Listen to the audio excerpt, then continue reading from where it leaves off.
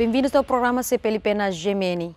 Aqui apresentamos as últimas informações sobre a comunidade dos países de língua portuguesa.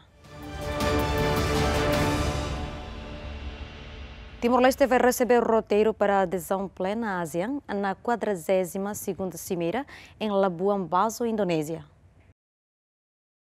Timor-Leste vai participar esta semana na 42ª Cimeira da ASEAN. É a primeira presença do país em encontro entre os líderes da associação depois de ter sido confirmado a 11 de novembro de 2022 que os Estados-membros tinham chegado a um acordo para integrar Timor-Leste com o Estatuto Observador que permite também participar nas reuniões e cimeiras.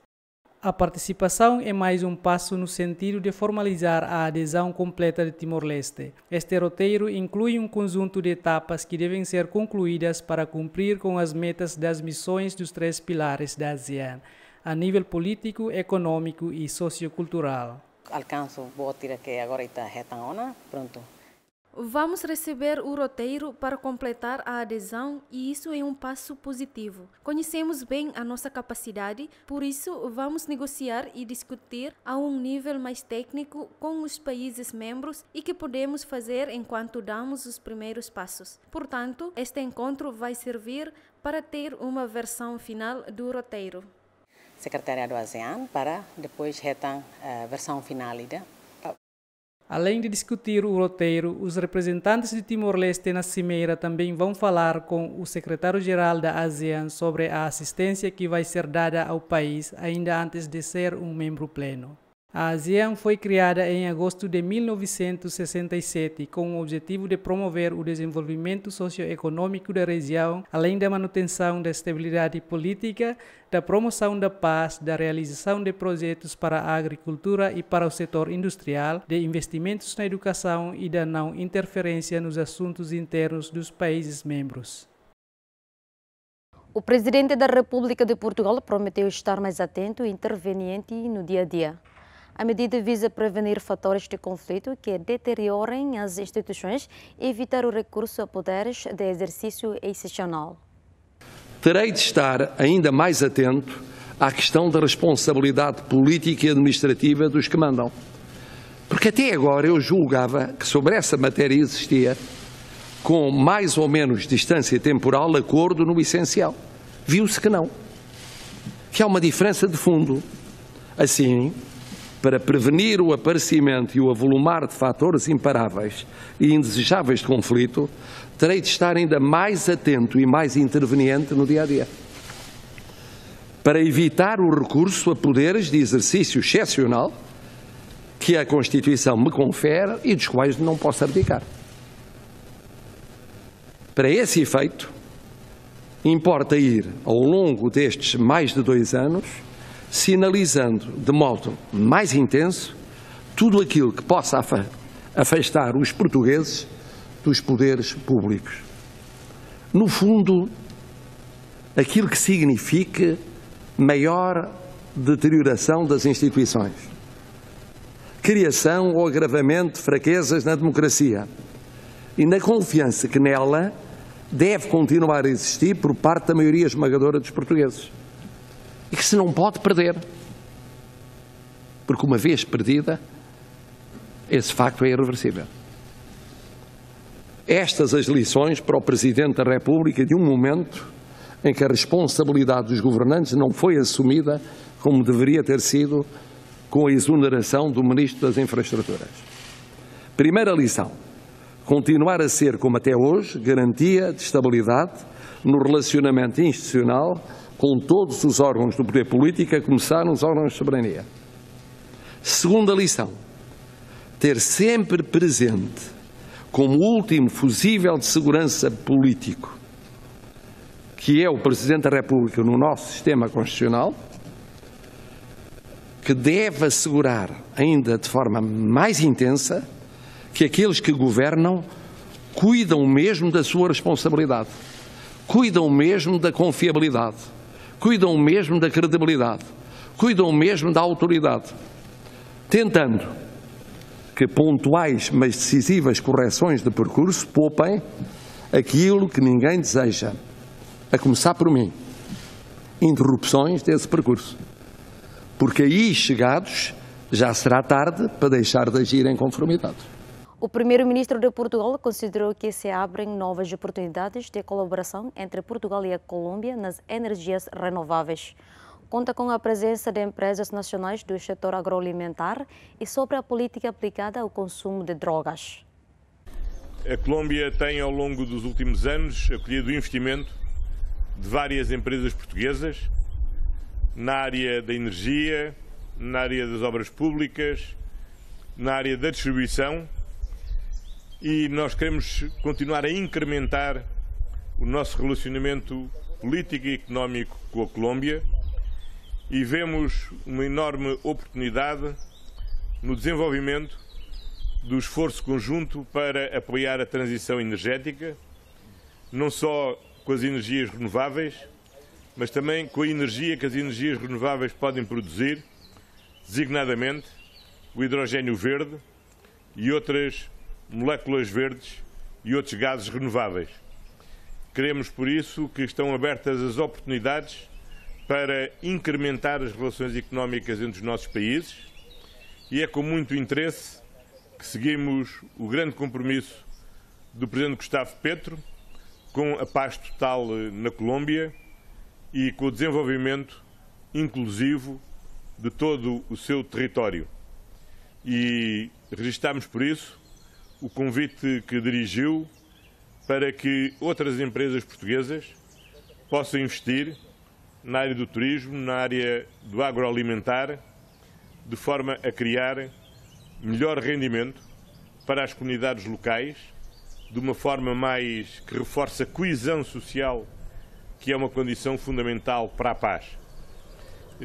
Também registramos com muito interesse a colaboração com a Colômbia no debate internacional que quer abrir sobre a questão da droga e o melhor conhecimento da nossa experiência em matéria de política sobre o consumo, mas também aquilo que é o debate internacional que tem que ser feito de forma a eliminar um negócio que é uma ameaça aos direitos humanos, que é uma ameaça à paz e ao desenvolvimento sustentado, sustentável e inclusivo em todo o mundo.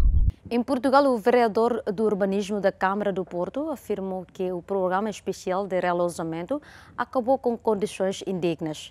Deixa na cidade a herança de como deve ser a habitação pública.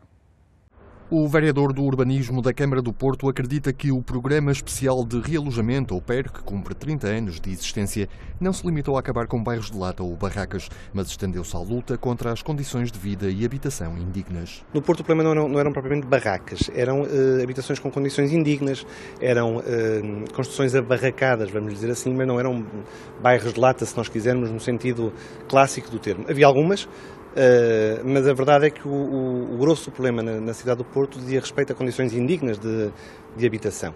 A criação do programa permitiu a construção de 806 fogos em conjuntos habitacionais como este do Monte de São João, mas para o vereador a marca que deixou reporta-se a toda a atual política de habitação social. A grande herança que o PER deixa no município do Porto, para além naturalmente de ter acabado com condições indignas de, de habitação para mais de 800 famílias, é uma determinada postura, um determinado eh, posicionamento relativamente àquilo que a habitação pública deve ser.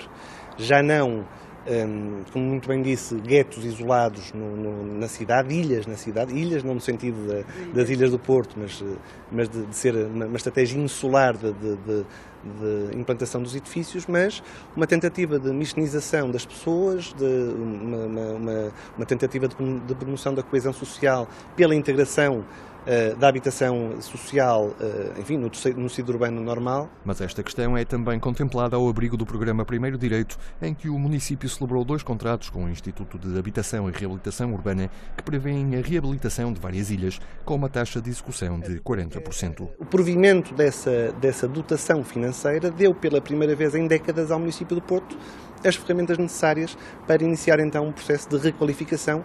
Eu não digo das 957 ilhas, isso é lírico, isso não vai acontecer, até porque a maior parte delas, enfim, não sei se é a maior parte, mas seguramente metade delas não tem qualquer viabilidade e, portanto, não, terão que ser erradicadas, estão a ser demolidas, até porque a maior parte delas, a esmagadora maioria delas, está desabitada neste momento, está de voluta, portanto, eh, já não é, eh, já não é uma solução habitacional. O município quer também aproveitar o plano de recuperação e resiliência para a aquisição de fogos para o arrendamento acessível e tenciona ter pelo menos uma dezena de habitações disponíveis, assim como uma centena de novas construções. Em Portugal, a escritora moçambicana Paulina Chigiane defendeu que a língua portuguesa precisa de tratamento, limpeza, descolonização. Deu como exemplo a maneira como algumas palavras surgem definidas nos dicionários. Para quem vem do chão, estar aqui, diante do governo português, diante do governo brasileiro, do corpo diplomático e de distintas personalidades, é alguma coisa que me comove profundamente. Caminhei sem saber para onde eu ia, mas cheguei a algum lugar. E este lugar é este prêmio. Eu venho da África. Sou negra. Estou aqui sendo a primeira negra a receber tão alto prêmio. Sou originária da África, sim, e não posso ter vergonha disso. Sou negra, sim, e depois? Qual é o problema? Se tu queres ser alguém na vida, no mundo, deves afirmar os teus passos, deixar marcas do teu pé gravadas de forma indelével, para que todos digam: por aqui passou alguém. Esta questão da afirmação é muito séria. Quem me conhece, quando eu comecei a escrever, e aquilo que se dizia de mim, porque os teus escritos não são bem, bem, bem na língua portuguesa. Porque tens que escrever bem, bem, bem na língua portuguesa. Mas eu achei que devia mostrar quem sou, negociando a minha identidade como mulher como negra, como africana, através da língua portuguesa. Esta língua, apesar de ser nossa, ainda tem umas especificidades, que vou mencionar algumas agora, que fazem com que esta língua de vez em quando me assuste ainda. A palavra catinga, que vem como cheiro nauseabundo característico da raça negra. Eu fico muito triste quando olho para aquilo. Eu digo, bem, realmente somos muitos a manusear uh, uh, uh, o dicionário, mas será que tivemos tempo de olhar para estas questões? De eu sou, tu não és. Hum? Eu tenho, tu não tens, ou não tens o direito de ter, a ponto de me tratarem assim nos livros sagrados como dicionário? Estou surpresa e digo: premiar uma negra, banto, com uma distinção tão alta, abre uma nova era para a perfeita conjugação do verbo ter e verbo ser. Estou a falar de verbos porque hoje é o Dia Mundial da Língua Portuguesa. Este prêmio, para mim, mostra que é chegada a hora de construir um mundo de harmonia e paz. Um mundo onde a conjugação desses verbos será feita de forma correta, de forma humana, para que a língua portuguesa seja a língua de todos. O primeiro-ministro de Portugal citou a escritora moçambicana Paulina Chigiane para salientar a universalidade da língua portuguesa. Em boa hora, se deu o nome de Camões a este prémio. Ao fazê-lo, os fundadores deste prémio libertaram Camões da redução ideológica que tantos anos o marcou. E assim, livre da sua catividade, pôde reencontrar-se como símbolo maior desta língua comum. Felizmente, hoje Camões representa um momento de perfeição da língua, de tal forma inovador e moderno que, estando próximo o seu quinto centenário, continuamos a lê-lo, sem que seja necessária qualquer adaptação ou atualização. Uma língua cuja riqueza e plasticidade tornaram possível que Paulina Chiziane transpusesse para os seus livros e transmitisse aos seus leitores a força da tradição oral que é própria da sua cultura. No momento em que o Prémio Camões consagra a sua obra, lembramos que há 50 anos, a nenhum dos nossos dois países, Portugal e Moçambique, era possível falar ou escrever em liberdade. Foi nesta liberdade partilhada que nos reencontramos, que nos reencontramos e que seguimos. Paulina Chiziane faz parte dessa geração que viu na literatura um lugar de emancipação pessoal e coletiva e cuja criação literária responde a uma necessidade profunda de interpretar e representar a identidade e a cultura do seu povo.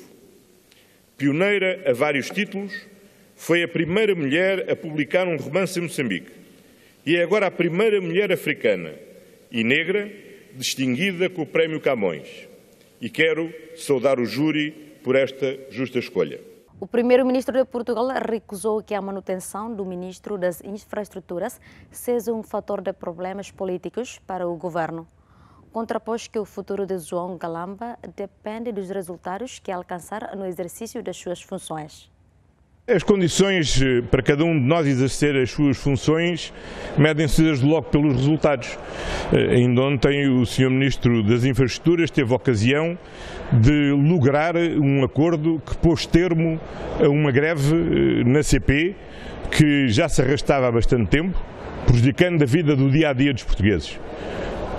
Posto fim à greve por um acordo, isso significa uma enorme melhoria para a qualidade de vida dos portugueses, paz na empresa, que é uma empresa fundamental para a atividade do país e para, sobretudo para os portugueses que diariamente precisam de utilizar a CP para se deslocarem, para trabalharem, para regressarem a casa. E, portanto, isso é uma excelente notícia.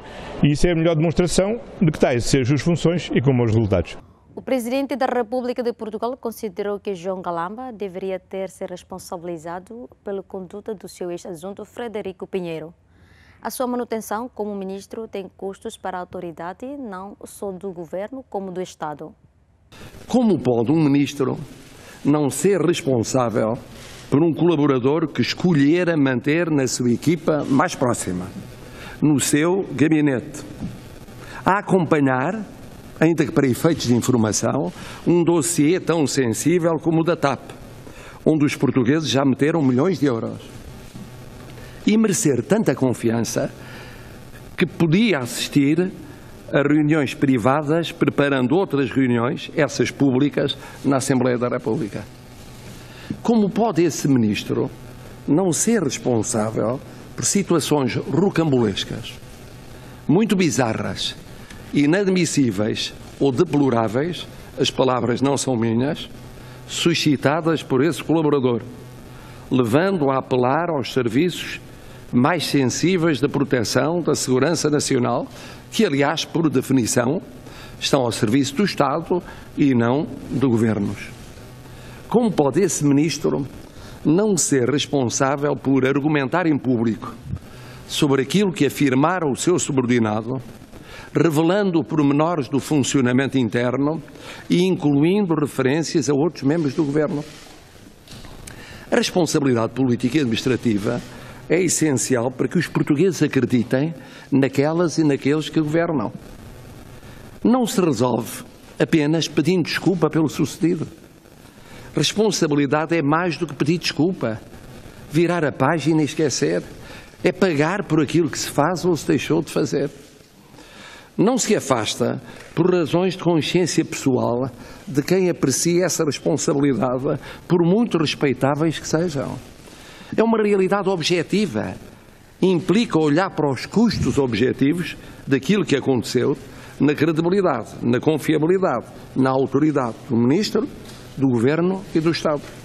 O Primeiro-Ministro de Portugal afirmou que a divergência com o Presidente da República em torno da manutenção do Ministro João Galamba no governo foi uma exceção. Relativamente à primeira parte em que o Sr. Presidente da República se pronunciou sobre o passado, eh, disse aquilo que já todos sabíamos e que já o tinha dito. Eh, tem uma opinião divergente da minha sobre quem é responsável por um acontecimento que ambos concordamos que é deplorável. Segundo lugar, sobre o futuro. Sobre o futuro, total convergência.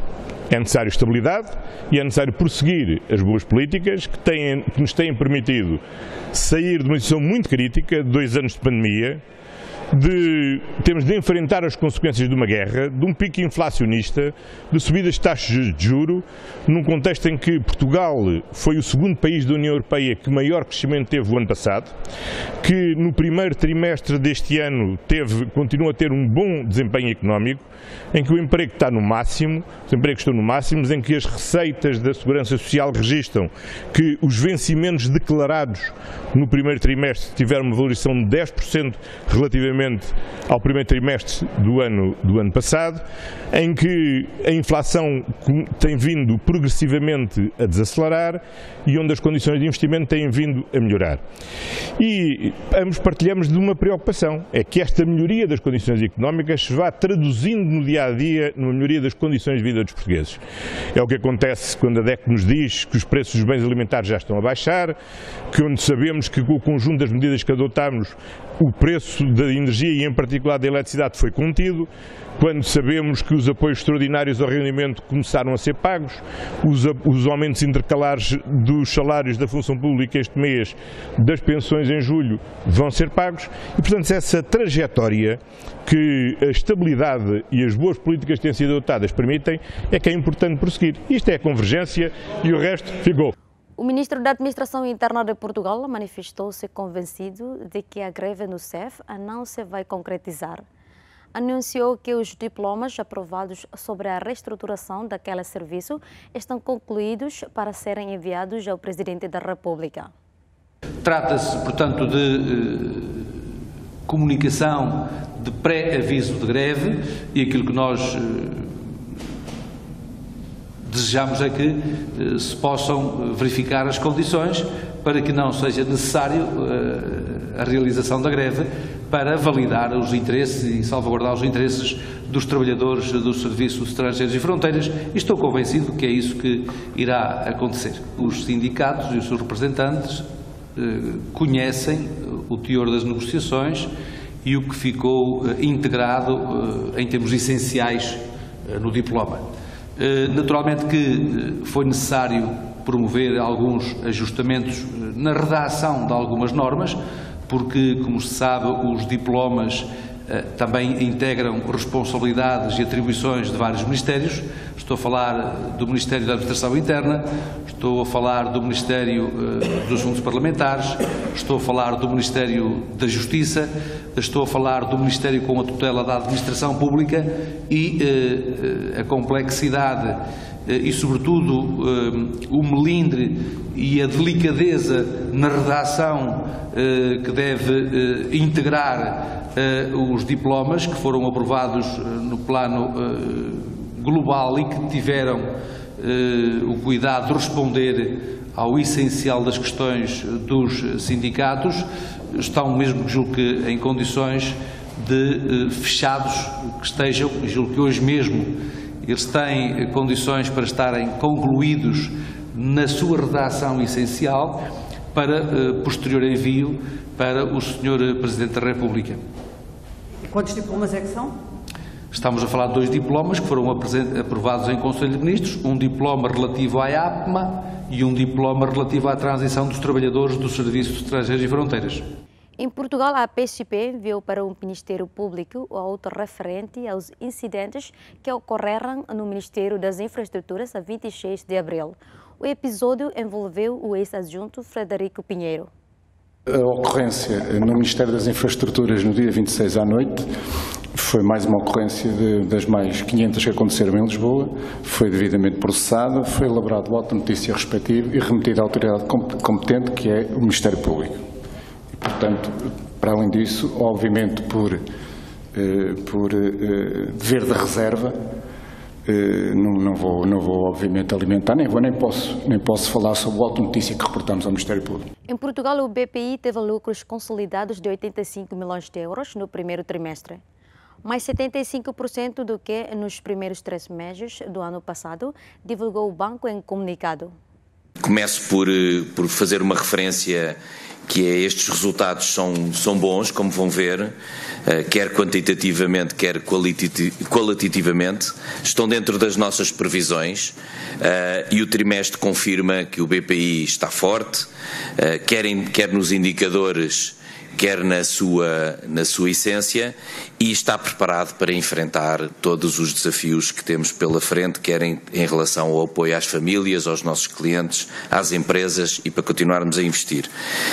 E passando diretamente àquilo que são os nossos resultados, uh, por isso, como eu já referi, tivemos um crescimento importante no crédito de 4%, comparando com o mesmo período do ano passado mantivemos um, um saldo de, de, de, solidez financeira e de baixo risco, em que destaco essencialmente uma cobertura quer por imparidades, quer por uh, imóveis de 156% em relação aos NPS de 1,6. Mantemos um rácio de capital nomeadamente o Common Equity Tier 1 de 14,3% e um rácio total de capital de 18,3%, um lucro líquido em Portugal de 73 milhões de euros e consolidado de 85 milhões de euros, que representa, no caso do consolidado, uma subida de 75%. Em Portugal, o Papa Francisco exortou os jovens participantes na Jornada Mundial da Juventude Lisboa 2023 a prepararem-se para o momento entusiasmante.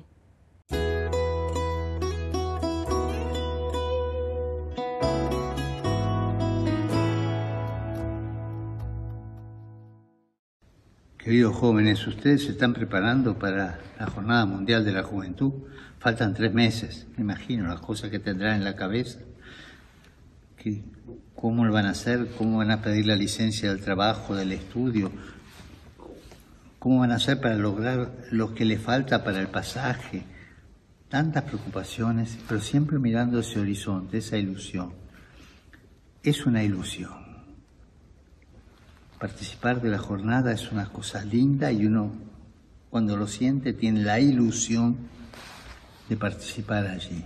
Prepárense con esa ilusión. Pongan esperanza allí. Pongan esperanza. Porque se crece mucho en una jornada así. Nosotros no nos damos cuenta, pero quedan las cosas dentro, quedan los valores que hemos encontrado dentro, las relaciones que hemos tenido con otros jóvenes de otros países, los encuentros, todo queda dentro. Y sobre todo ver la fuerza juvenil, la iglesia tiene fuerza de joven. Así que adelante. Pero les voy a dar un secreto. Para prepararse bien, conviene mirar las raíces. Traten de encontrarse con los ancianos. Muchos de ustedes tienen abuelos, visiten a los abuelos y pregúntenles, ¿en tu tiempo había jornada de la juventud? No, seguro. ¿Y a vos qué te parece que tengo que hacer yo? Hablen un poco con los abuelos, porque ellos les van a dar sabiduría, pero ustedes siempre adelante. Los espero en Lisboa.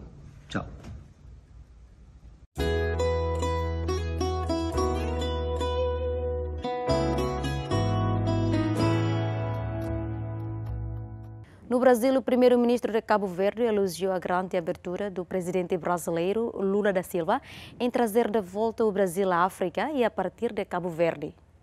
Nesta deslocação ao Brasil, eh, temos várias áreas de intervenção, de ação. Eh, uma delas foi o um encontro com o presidente Lula, eh, que permitiu definir um quadro de relançamento, reforço da nossa cooperação, diálogo político-diplomático, uma grande abertura do Presidente Lula eh, de trazer de volta o Brasil à África e a partir de Cabo Verde, o que é também uma boa, boa referência, eh, não só a nível bilateral, mas também a nível multilateral e a nível do nosso posicionamento relativamente a algumas matérias de âmbito internacional, tendo em conta que o Brasil é um país muito importante eh, na arena internacional, pela sua dimensão proporcional, eh, pelo seu território, mas relativamente a algumas matérias, como a ação climática, eh, o ambiente, a paz e a estabilidade, e foi nessa perspectiva que nos comungamos, nós comungamos relativamente à necessidade de um Brasil mais interventivo relativamente a questões, por exemplo, da ação climática, do ambiente, e partilhamos aquilo que são as nossas prioridades, relativamente à aceleração da transição energética, eh, relativamente à estratégia de água, particularmente a nossa estratégia de água eh, para a agricultura associada às energias eh, renováveis, a mitigação e adaptação às alterações climáticas, a estratégia de desenvolvimento da economia azul, a própria economia digital são áreas de prioridades de Cabo Verde que encontramos também eco relativamente ao interesse do, do Brasil. A questão da segurança e a defesa, nós estamos uh, no corredor, Cabo Verde, situado no corredor uh, que vem da América Latina, Brasil, até o Golfo da Guiné, e temos todo o interesse em desenvolver o nosso posicionamento na segurança cooperativa e coletiva, particularmente na segurança marítima, e reafirmamos isso junto uh, do Presidente Lula. Temos várias ações conjuntas com o Brasil, assim como com a União Europeia os Estados Unidos da América, e neste triângulo que Cabo Verde quer se manter país seguro, nomeadamente relativamente a tráficos e ao crime transnacional, ligado ao tráfico de droga, tráfico de pessoas, e ao mesmo tempo contribuir positivamente para a segurança cooperativa. Em Portugal, o secretário-geral da Federação Nacional dos Professores disse que o dia 6 de julho será histórico.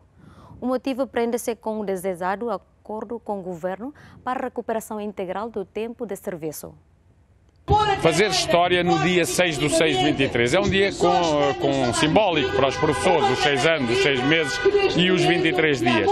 E então, nesse dia nós temos marcado uma greve, certamente irá fechar as escolas todas do país, até pelo símbolo, uh, pelo simbolismo da, da, data, com duas grandes manifestações, Lisboa, Porto de manhã, Lisboa à tarde, mas pode o Governo, havendo vontade política nesse sentido, de, nesse dia, podermos chegar finalmente ao tal acordo da recuperação do tempo de serviço e da dispensa das vagas. Tenham os governantes a coragem de tratar bem, coisa que até hoje não fizeram, os professores. São estas as duas respostas que nós queremos receber na negociação suplementar. Veremos. Se por aí for o caminho, nós estamos abertos a negociar o faseamento, o, período, o prazo do faseamento, estamos. Se esse não for o caminho, ah, pois com certeza, no dia 6 do 6 de 23, com as avaliações finais, com os exames, com o próximo ano, isto vai continuar, porque o tempo é dos professores que o cumpriram e nós não vamos abrir mão dele. Eu penso que há capricho, porque o Sr. Primeiro-Ministro, a partir do momento em que vem dizer que ao tempo de serviço ao nosso governo, há ali, de facto, o Sr. Primeiro-Ministro mete na cabeça que com ele não há tempo recuperado. E, portanto, há aqui um capricho, há aqui um orgulho que o Sr. Primeiro-Ministro não quer ferir. Mas esse é um problema do Sr. Primeiro-Ministro, não há um problema dos professores e, portanto, nós cá estaremos. E nós temos hoje um problema no país, é que o nosso país temos um governo que passa mais tempo preocupado em resolver galambices, trafolhices eh, e outras aldrabices do que propriamente em resolver os problemas das pessoas, em resolver os problemas dos professores também, não só, mas também. E, portanto, isso não pode acontecer.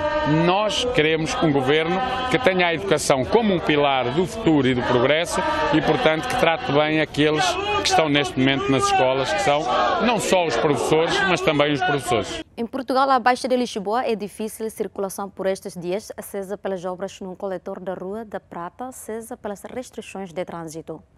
Em causa está o plano de drenagem, mas o comércio mantém-se aberto e espera por visitantes. A Baixa de Lisboa é de difícil circulação por estes dias, seja pelas obras num coletor da Rua da Prata, seja pelas restrições de trânsito devido ao plano de drenagem. Mas o comércio mantém-se aberto e espera por visitantes as regras de trânsito provavelmente não estão a ser interpretadas uh, da forma correta uh, daquilo que é o momento. Uh, penso que a informação que saiu da Câmara também não foi a mais adequada, ela foi, digamos, muito alarmista, ela foi quase que dizendo que não venham para a Baixa porque não podem, isso não é verdade. A Baixa não está encerrada, a Baixa continua a poder, os consumidores poder vir à Baixa com, com os seus carros particulares fazer as suas compras. Agora, o que nós nós também estamos de acordo é que quem não tem necessidade, quem não precisa de ir para baixo, pode e deve eventualmente fazer outro atravessamento sem atravessar a nossa baixa. O trânsito na zona ribeirinha e na Baixa de Lisboa encontra-se condicionado desde quarta-feira passada por tempo indeterminado com restrições de circulação automóvel entre as avenidas Infante Santo e Mozinho de Albuquerque, existindo como alternativa a denominada Quinta Circular. Mas algumas das obras em curso decorrem desde dezembro, o que tem prejudicado o negócio aos comerciantes. Aliás, nós quando abrimos esta eh, esta loja, nós estávamos aqui ao lado, foi na altura da pandemia, ou pós-pandemia, e, e não foi tão, tão complicado. Eu achava que iria ser uh, uma altura muito complicada, mas esta, desde que isto aconteceu, tem sido muito, muito mal. Porque é um buraco que já está aí desde dezembro e apenas estão quatro pessoas a trabalhar numa coisa que devia ter sido feita dia e noite, como era antigamente que se fazia, trabalhava-se dia e noite e fazia-se o trabalho e o mais rápido possível. Neste momento não, chega-se às 5 horas, vai-se embora. É, é uma coisa feita, parece que estamos a fazer trabalhos a conta gotas. E depois os comerciantes é que pagam. Se precisarmos de ajudas, as ajudas são zero e quem aguentar, aguenta, quem não aguentar, não aguenta. O horário das cargas e descargas na Baixa da capital, que só podem ser realizadas para veículos com peso superior a 3,5 toneladas entre as 8 da noite e as 8 da manhã, também é um obstáculo aos pequenos comerciantes, embora nem todos se tenham ressentido das mudanças. Eu ainda não tive nenhum fornecedor que me viesse entregar mercadoria. Uh, em princípio dizem que só vão fazer entregas durante a noite. É impossível, para mim é impossível, porque eu trabalho durante o dia todo e não vou ficar aqui à noite para receber mercadoria. De momento eh, não temos assim notado muito, nota-se mais a nível de cargas e descargas com carros eh, pesados, pesados, por exemplo, a cerveja, as águas, toda essa parte da. Isso sim, isso torna-se um bocado mais complicado para eles descarregarem. Fazem várias vezes os carros mais pequenos a fazer a distribuição aqui, agora o resto, neste momento, não se nota assim por aí além. Na apresentação das novas medidas, o presidente da Câmara Municipal de Lisboa salientou a importância da obra que vai criar o Plano Geral de Drenagem, acrescentando que a autarquia está a fazer algo que nunca tinha sido feito. Carlos Moedas assegurou que o plano é levado a cabo de forma gradual, de modo a causar os menores danos possíveis aos lisboetas. Foram as informações de hoje. Voltamos na quinta-feira. Até lá.